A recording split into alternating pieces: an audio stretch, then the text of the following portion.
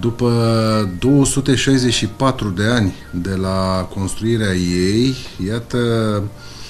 Biserica de Lemn din satul Urș, din Comuna Popești, ne aduce uh, în suflet un sentiment de mândrie națională și de bucurie pentru că a fost premiată la ediția 2021 a premiilor europene pentru patrimoniu, categoria conservare, oferit de Europa Nostra, este și, iată, câștigătoarea premiului publicului ceea ce este foarte, foarte important. Bisericuța noastră din Vâlcea a fost desemnată online favorita publicului și iată că, într-un fel, și campania pe care am făcut-o noi, toți vâlcenii, primari, eu ca președintele Consiliului Județean, ne-am anunțat uh, tot ceea ce înseamnă infrastructură umană din jurul meu uh, și cum este favorita publicului, uh, cred că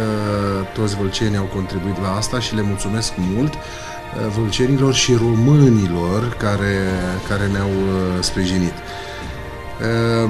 Sunt foarte bucuros că oameni din toate colțurile Europei până la urmă au apreciat această bijuterie arhitecturală. uh, care a fost readusă practic la viață prin uh, eforturi deosebite, eforturi conjugate ale autorităților locale, primăria, uh, Popești și am fost împreună cu doamna primar Aurora Măgură. Acolo este o doamnă minunată, un primar care pune suflet în localitate.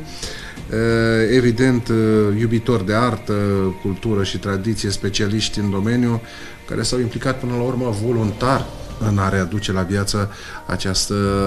bisericuță din lemn. Sunt uh, tare bucuros și în același timp recunoscător celor care au contribuit la această reușită deosebită pentru Vâlcea și pentru România, bineînțeles.